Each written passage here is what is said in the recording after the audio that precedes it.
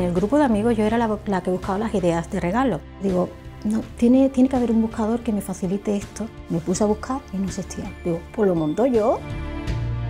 Entras dentro del buscador y dependiendo de lo que tú vayas buscando, nosotros te tenemos ya una selección preparada. Desde viajes hasta perfumes, hay experiencia, hay eh, regalos personalizados, pero para cada uno lo suyo. Yo de San José del Valle. Eh, San José del Valle es un pueblecito que está cerca de Jerez, de la frontera. Yo terminé mis estudios de turismo aquí en Jerez. Eh, en cuanto termine, lo primero que hago es irme a Alemania.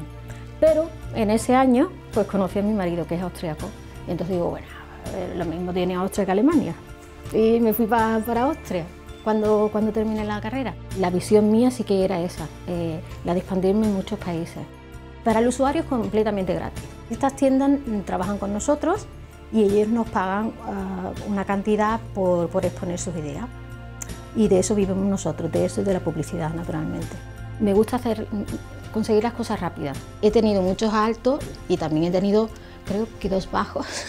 y nada, se remonta y ya está. En España está ahora el boom de las experiencias que eso, eso ya ha pasado en Austria y ahora están aquí. Hay un montón de empresas que se dedican a eso y hay muchísimo.